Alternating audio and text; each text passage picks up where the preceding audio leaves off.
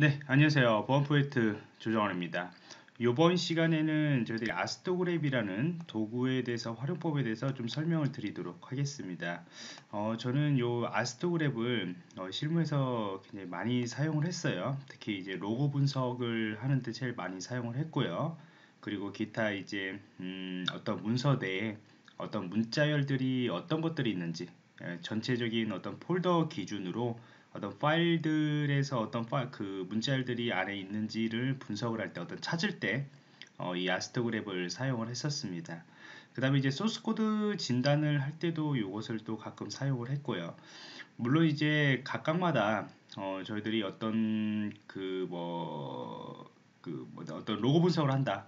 그러면은 이제 로그 분석했던 Log Parser 같은 경우나 아니면 최근에는 통합 로그 분석에 가는 것들 뭐 Splunk 같은 경우나 ELK 등 그런 여러 가지 도구들이 좋은 것들이 있긴 있어요. 근데 이 그런 것들을 구성하려면 또 환경을 또 많이 구성을 해야 하는 것이고 또한 이제 그 조건에 맞는 어떤 문자열들이나 그런 것들을 구성하려면 좀 시간이 걸릴 수밖에 없고 또 이제 로고 분석이라면 로고 분석 하나에만 어떤 제한되어 있는 그런 기능들을 가지고 있는 것들이 많이 있습니다.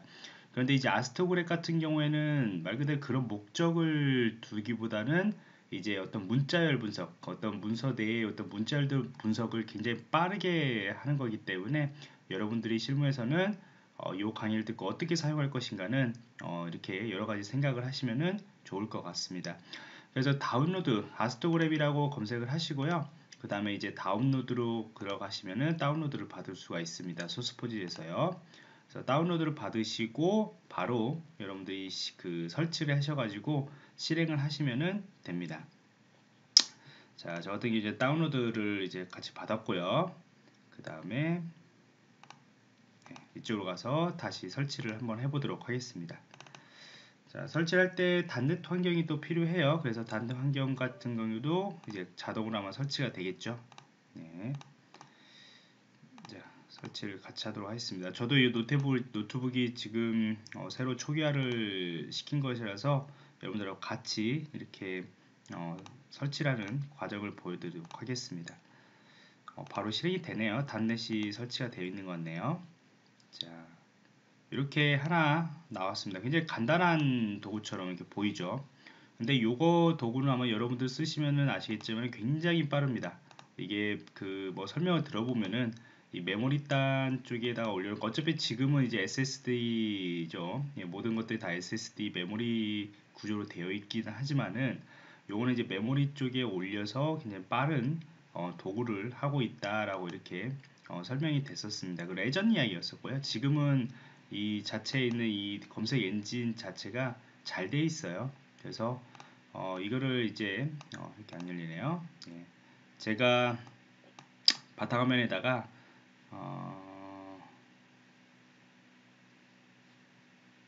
상태 폴더고요. 예.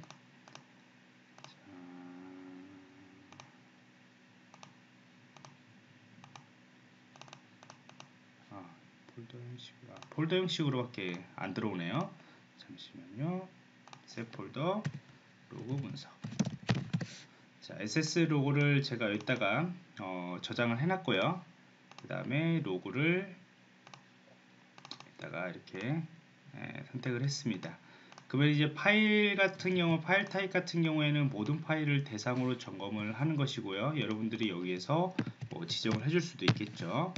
자그 다음에 이거는 이제 제가 로그 분석을 한 것이고 로그 분석 아니 로그를 어, 대량으로 생성을 우선 해놨고요. 그 다음에 여기에다가 저희들이 어차피 IP 대역부터 저희들이 이제 로그 분석할 때 많이 사용하는데 IP를 어차피 한 곳에서만 찍겠습니다. 여기 보면은 어, 제가 한번 열어보면은 한 곳에서만 로그는 여기서 IP 대역은 한 곳에서만 예, 들어옵니다. 그렇기 때문에 IP를 검사하는 것은 무의미할 것 같고요. 음, 어, 떤 거를 검색할까요? 어떤 shell.php 파일 우리가 어떤 웹 CL을 올린다고 생각을 하고 저희들이 shell.php 파일이라는 것을 이렇게 한번 검색을 한번 해보도록 하겠습니다.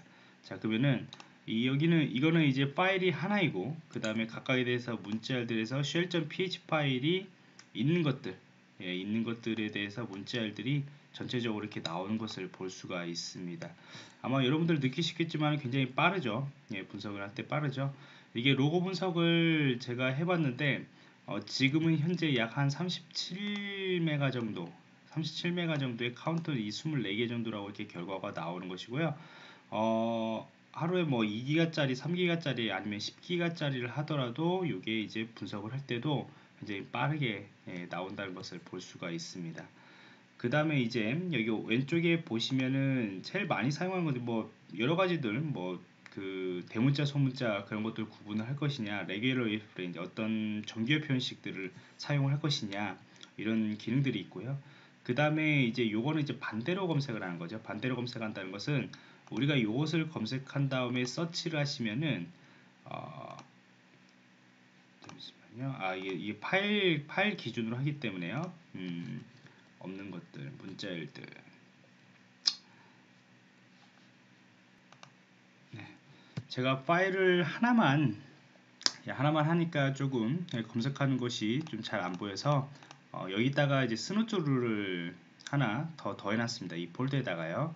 그래서 Snort 룰에다가 저희들이 이제 C99 쉘이라는 어떤 웹 shell 패턴을 가진 파일들, 룰들이 어디에 있는지 검사를 할 때는 이렇게 검사를 하게 되는 거죠.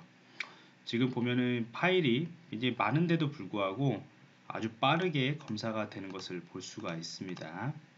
자, 이게 검사가 되고요.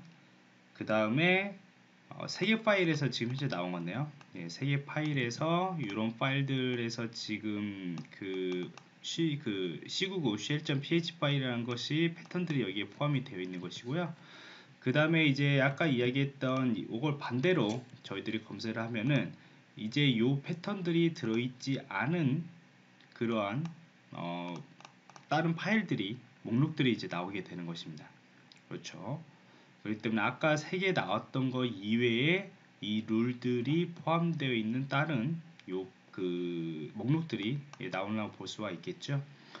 그 다음에 이제 여기서 보면은 이제 context 이 라인인데 이 라인 같은 경우에는 여러 그 10개 정도 하면은 10 라인이 이제 이 우리가 검색했던 우리가 검색했던 기준으로 10 라인들이 보이는 것입니다. 그래서 다시 어, 이 반대 것을 선택을 하고 분석을 해 보시면은 이제 우리가 했던 요것만 보이는 것이 아니죠. 아까는 요것만 보였죠.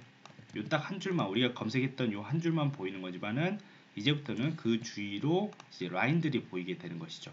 그 때문에 요것도 이제 10줄 라인들이 중간에 어, 보이는 것이고요. 그 다음에 요것들이 있다 보니까 이제 좀 복잡하게 보이지만은 이게 같이 있다 보니까 이 위에 것도 지금 현재 10라인 기준으로 양쪽 사이드로 10라인씩 보이게 되는 것입니다. 그렇기 때문에 여러분들이 이것을 하면은 이제 너무나 많은 라인을 보게 되면은 어 조금 어 속도가 늦어지기 때문에 보통 한 10라인에서 5라인 정도로 이렇게 선택을 하고 분석을 하게 되는 것입니다. 요거는 이제 우리가 제가 이제 어 공개 공개 강의에서 그냥 일부 분석만 이렇게 이렇게 하고 있다라는 만 보여주기 때문에 이 정도로 되는 것이고 어, 보통 이제 소스 코드 진단 같은 경우나 아니면 여러분들이 뭐 secure coding 같은 거죠. secure coding, 소스 코드 진단 그런 것들을 할 때는 이 10라인이나 20라인 기준으로 해서 내가 어떤 특정한 입력값이 되어 있지 않는 cross site script나 그런 것들이 되어 있지 않는 것들을 선택을 할 때 이제 양쪽으로 이렇게 보면서 진짜 입력값 검증들이 잘 되어 있는지 안 되어 있는지 예, 보안적으로 예, 이런 것들을 검색을 하게 되는 것이죠. 그리고 룰 분석 같은 그 어떤 로고 분석 같은 거 특히 어, 실무에서는 로고 분석을 할 때 요거를 또 저 많이 사용을 했는데 로고 분석할 때도 공격이 어떤 IP 기준으로 IP 기준으로 연라인 정도만 이렇게 분석을 하게 되면은 이제 요게 요 공격자가 어떤 행위들을 하고 있는지 그 다음에 이 공격 뒤에 어떤 것들을 하고 있는지 대충 판단이 되게 됩니다. 그래서 어, 이 아스트그랩으로 이제 빠르게 검사를 할 수 있다는 것을 어, 여러분들한테 팁으로 알려드리고 싶어서 이렇게 남깁니다.